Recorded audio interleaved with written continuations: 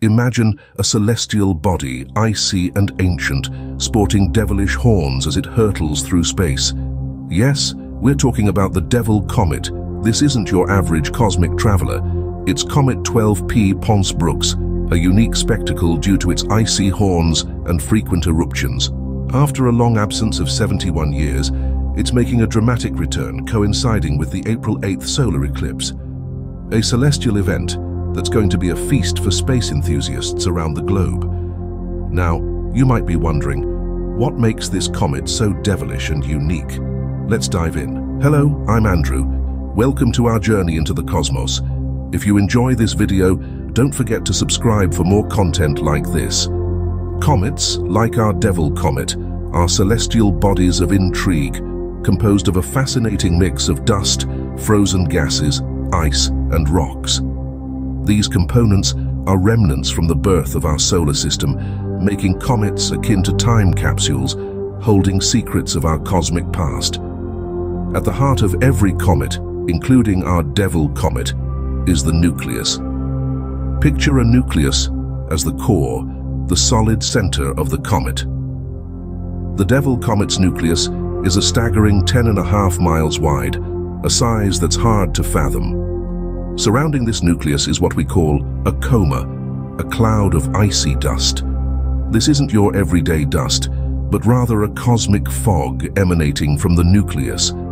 As the Devil Comet journeys closer to the Sun, the heat causes the ice in the nucleus to vaporize, creating this glowing coma. But our Devil Comet isn't just a passive traveler. It's a dynamic and active body in space, frequently causing quite the spectacle.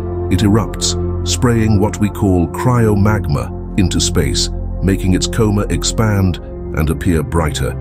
So this icy devil isn't just a frozen rock, it's a volatile and active body, frequently erupting and spraying cryomagma into space. As it journeys through the inner solar system, it reaches breakneck speeds of 40,000 miles per hour. That's faster than any spacecraft ever built by humans.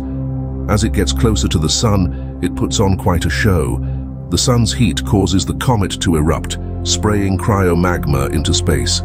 This, in turn, expands the comet's coma.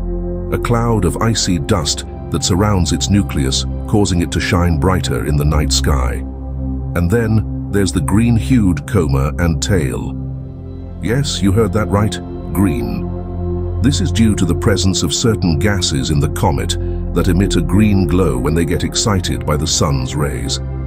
The tail, made of dust and ice, also becomes more prominent as the comet nears the sun, creating a mesmerizing spectacle for us Earthlings to enjoy. Now, mark your calendars for June 2nd. That's when the Devil Comet will make its closest approach to Earth. Don't worry, it won't be close enough to pose any danger, but it will provide us with a grand celestial show. Eventually, after its brief sojourn in the inner solar system, the comet will be flung back into the outer solar system, where it will remain until its next visit. As we can see, the Devil Comet is not just an icy rock, but a dynamic and active celestial body. Our journey with the Devil Comet is nearing its end, but let's recap what we've learned. This celestial body, known as Comet 12P to Pons-Brooks, is set to make a spectacular pass by Earth for the first time in 71 years. What makes it truly unique is its formation of icy horns, a result of periodic explosions on its surface, thus earning it the moniker Devil Comet.